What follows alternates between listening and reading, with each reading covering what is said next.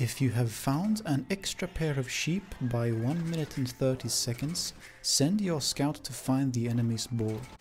You want to find the boar preferably before the 3 minute mark in order to get it before the enemy lures it. Once you've found the boar, hit it twice and then retreat.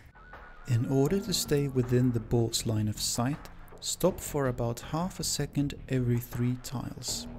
An alternative method is moving the scout in a zigzag pattern to slow it down.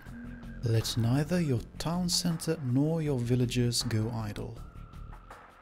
Select the receiving villagers and queue them to shoot the boar by holding shift and right clicking the boar. Circle the town center with your scout to keep the boar chasing while your villagers shoot it. Have it die directly under the town center if possible.